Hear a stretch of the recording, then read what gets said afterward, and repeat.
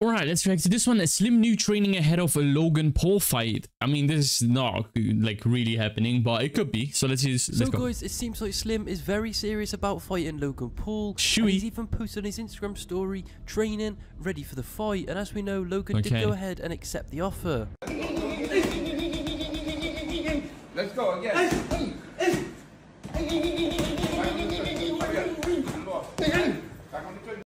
I want to say about these sounds, bro. It's too funny, man. Crazy.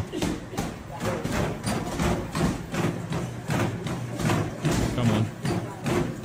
Now, is this a fight you would like to see? I mean, Logan is a pretty decent Yeah. boxer and Slim, well, he's undefeated and knocked out basically every Facts. opponent. Comment your thoughts down below in the comment section. Please either like, subscribe, and do turn our notifications on. Yeah, I mean, it is what it is. It's a good video. Good to see. And uh, yeah, nice, man. Good video. Good to see.